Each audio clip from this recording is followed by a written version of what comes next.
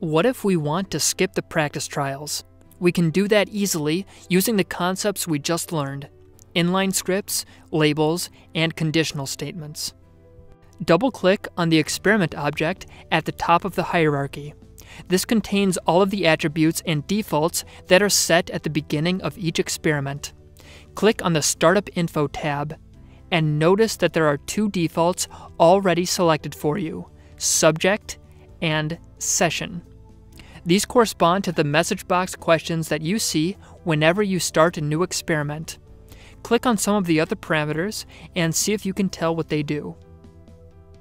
We can add our own parameter by clicking on Add. Let's call this parameter skip practice and give it the prompt skip the practice trials question mark. For data type, select choice. You can add a new choice by clicking this button here. Type yes and then press enter. Add another option, type no and press enter, then click OK. Now click and drag an inline object just after the instructions and call it check skip practice. Open it and type if c.getAttrib in parentheses skip practice equals yes, then go to do exp trials end if.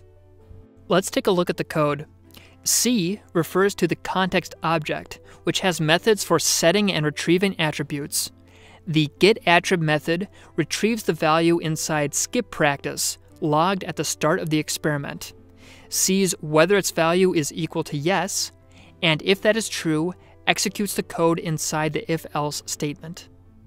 Note that we're making the code point to a label that doesn't exist yet. Click and drag a label object and put it underneath the check for redo inline object. Call it do exp trials. Now run the experiment and notice that there is a new startup prompt asking whether you want to skip the practice trials.